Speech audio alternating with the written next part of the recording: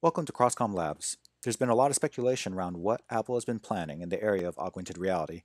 Apple's own Tim Cook believes that augmented reality is a big idea akin to the smartphone, and we wholeheartedly agree. So, we were very excited when Apple revealed at least some of their AR ambitions during their Worldwide Developer Conference this past June in the form of ARKit.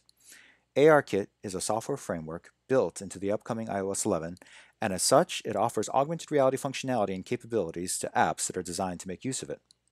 It allows for apps running on any recent iPhone, such as the iPhone 6s or even the iPhone SE, to recognize flat horizontal surfaces through the phone's camera and track the device's changing position and orientation relative to its surroundings. The following is an example we've built within our labs.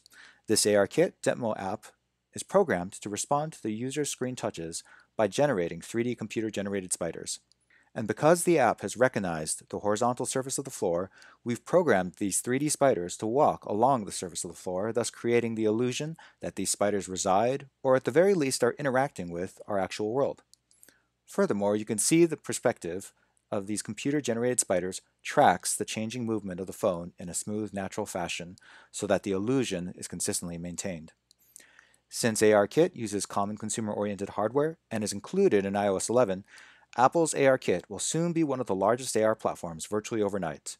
And perhaps equally important, it signals Apple's commitment to what will likely become a whole new paradigm of spatial computing and reinforces what the filed patents have already told us, that Apple is making a significant investment in AR technology which may result in future AR hardware that truly complements the ARKit software.